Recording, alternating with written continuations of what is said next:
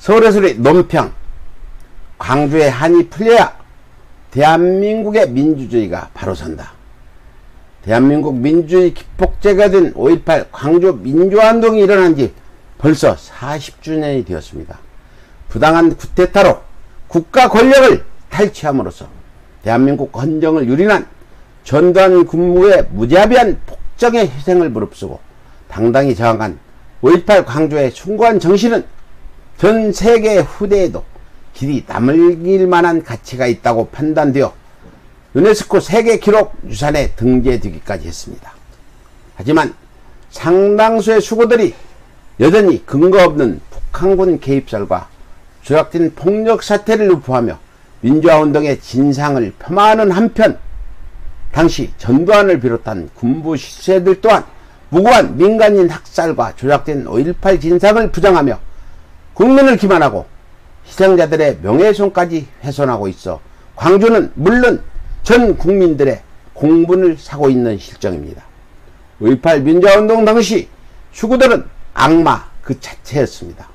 수많은 어린 소녀 소녀들을 경군이 군하에 처참히 짓밟혔고 채 태어나지도 못한 어린 생명을 푼 가녀린 임산부마저 잔혹했던 사력을 피할 수도 없었습니다.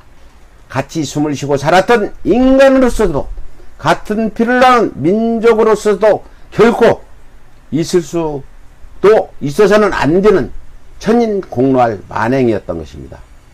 그렇다면 어떻게 이런 말도 안 되는 간악한 학살극이 대한민국에서 벌어질 수 있었던 것일까요? 그것은 아, 마도그 답은 6.25 참사 전후 친일파와 결탁한 이승만 정권의 백만 민간인 학살에서 찾을 수 있을 것입니다.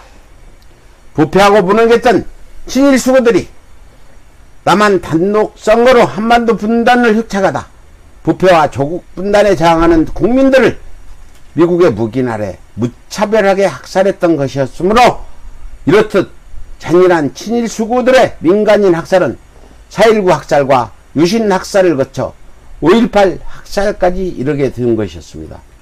이처럼 역사적으로 도저히 용서받을 수 없는 민간인 학살의 원흉들은 바로 일본도로 독립군은 물론 어린 중학생까지 잔혹하게 살아있던 서성한 연세대 총장의 아버지 서종철과 같은 친일 매국노들이었던 것입니다.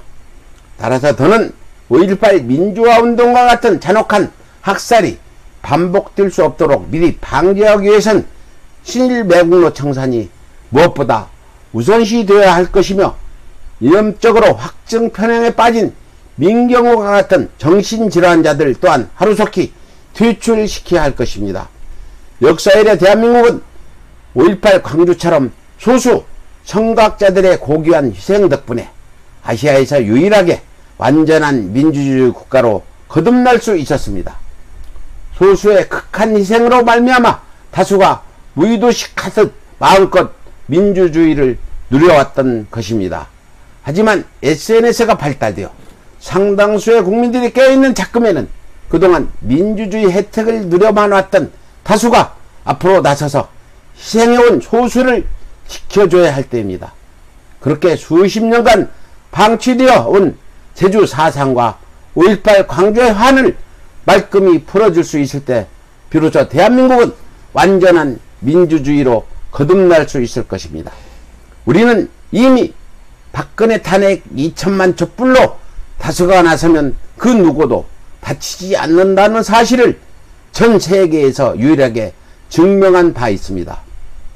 이처럼 다수가 뜻을 모아 다 함께 전진할 수 있을 때 비로소 주구 적폐들의 뿌리까지 완전히 도려내고 완전한 제주독립 국가 또한 거뜬히 이룩할 수 있을 것입니다.